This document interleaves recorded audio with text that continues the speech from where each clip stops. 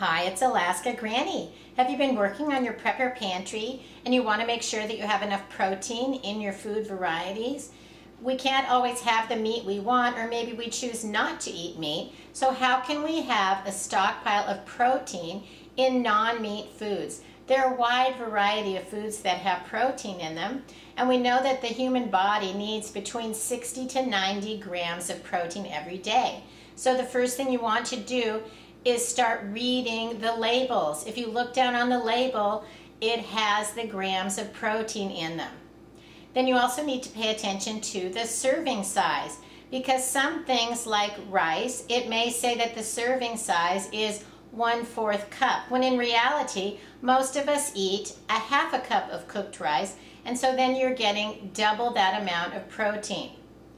You also need to look carefully when you choose small packages of snack foods because a lot of those have protein in them. And once again, we tend to grab a small bag, we think it's one serving, but it's not. Some of them are two and a half, three, four, even five servings in what we would consider, sorry, one serving because that's my little bag. And then you have that amount of servings times the protein grams is how many grams you're actually getting. Just as we pay attention to the calorie count, you need to pay attention to the grams of protein, and you may find out that you're getting more than you thought. Having enough is a concern, and so let's go over some of the foods and look at the grams of protein that you can find in a wide variety of foods. Some of these may be foods you want to add to your prepper pantry, your long-term food storage, and most of these can last for several years, up to 30 years. A lot of it depends on the oil content of the food and how well that you store it. The more airtight, cool, dark, and dry that you store foods, the longer it's going to last. But things that have a high oil content like brown rice are just not going to last. They're loaded with protein, but you need to rotate those through your prepper pantry far faster than you would something like white rice, which can last for 30 years or even more. Always a great place to start with your food storage is with rice. White rice is going to last indefinitely as long as you store it in a cool, dry, dark, airtight container. Brown rice doesn't last as long because there's a lot of oil naturally in the rice grains. So you want to rotate your brown rice far more frequently than you do your white rice. Both of these, it says serving size one quarter cup, but most of us actually eat a half a cup of rice. But in the one quarter cup, there are three grams of protein, whether you choose white rice or brown rice. Here's a good example why you don't want to store the rice just in the great big bags it comes in. This one already has a hole in it and it took me a while to figure out where's the hole. Little rice grains are flying all over the kitchen. So not only does that make a mess, but it's a waste of your food and food that's not stored airtight begins to spoil. That's a quick fix for now, but I need to make sure that I store this in an airtight container. Beans and legumes are loaded with protein. They're a great way to get some protein naturally. Whether you buy beans in a can, there's all different varieties. Most of them have about 7 grams of protein per serving.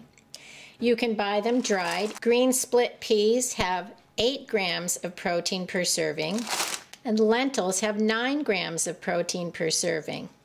Choose varieties of baked beans that you know you like because these also have 7 grams of protein per serving. Even look at varieties like black-eyed peas. Black-eyed peas have 5 grams of protein per serving.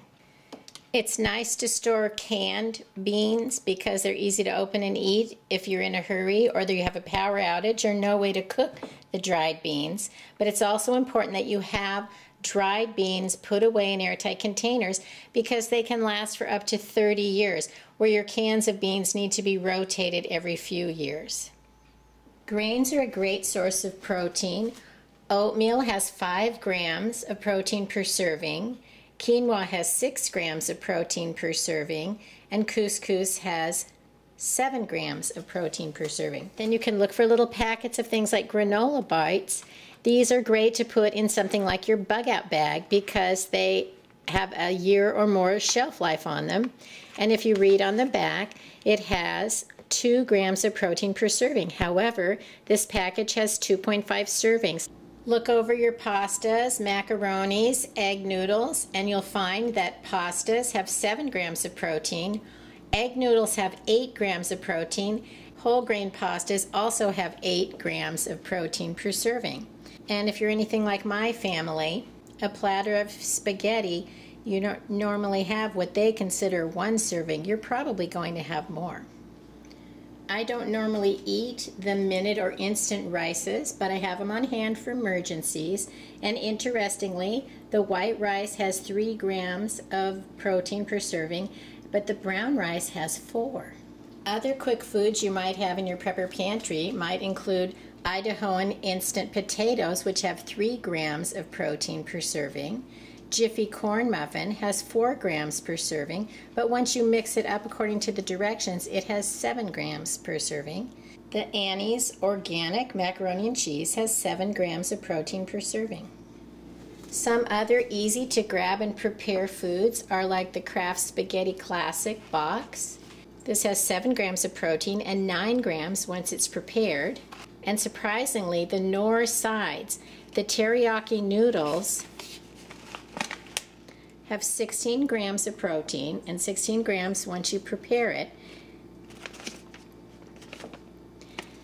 And the creamy pesto also has 16 grams of protein the way it's packaged and if you prepare it there's 20 grams of protein in this package. Then if you look through some of your whole grain crackers you'll find that some of those have protein. The Triscuits, six crackers, have three grams of protein. A lot of the crackers don't seem to have any because they're so processed, but look over some of your crackers and maybe make better choices with the foods that you want to add to your stockpile. If you look at the dairy products, there's an interesting variety of what you can find. If you look for the whole milk, like Parmalat, it has 8 grams of protein per serving, as does the Nido Fortificada. This is the greatest powdered milk. You can find it even at Walmart or you can order it from Amazon. It's not very expensive. It's very easy to stir into water. It doesn't clump up and it actually is tasty. It's the only kind of powdered milk that I actually buy anymore. I used to buy Augason Farms Morning Moo, but it became unavailable and extremely expensive, and the Nido Fortificada is a wonderful addition to my food storage. Maybe you want to consider getting some high protein powder or some of the pre-made shakes. They would be great to go in your bug out bag or grab and go if you like that type of food and they have 16 grams of protein per serving. What's interesting about cheese is how different the protein amounts are. If you look at the Augason Farms dried cheese it has 5 grams of protein per serving, and it's pretty tasty. You can make a lot of things with it, from cheese sauces, make your own macaroni and cheese, as long as you have a big bag of macaroni. But then the Media Crema, which is actually table cream, actually has zero protein. I was surprised that cream had zero protein. The grated cheeses have 2 grams. And interestingly, a new product that I found recently is Whisps. They're completely 100% cheese. They have a shelf life of about two years, a year and a half, two years. They're lightweight. They have two servings per container of 10 grams of protein. So these little packets, which would be great in your bug out bag, or they're just delicious as a snack, there's 20 grams of protein in this little resealable pack of cheese. Nuts have a nice amount of protein. You can get almonds with 5 grams of protein. The pistachios have 6 grams of protein per serving. Peanut butter has 7 grams of protein per serving.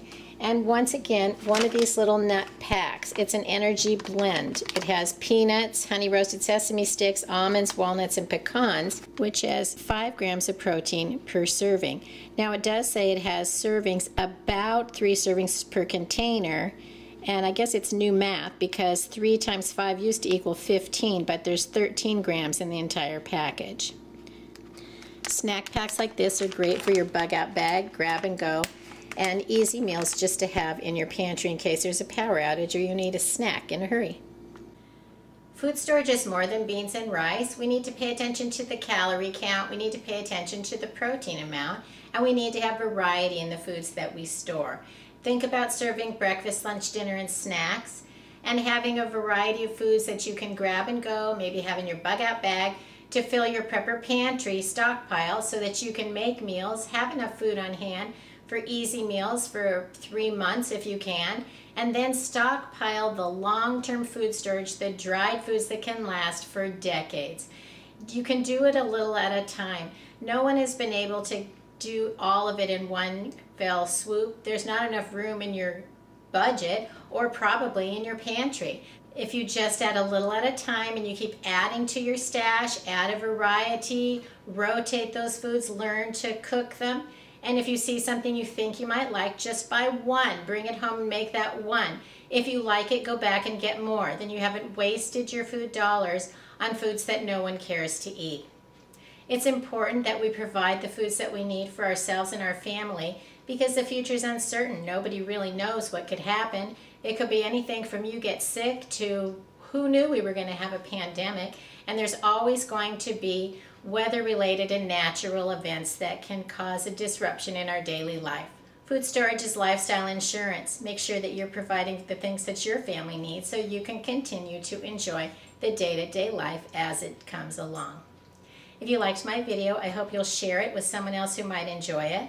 Learn more at alaskagranny.com and please subscribe to the Alaska Granny channel.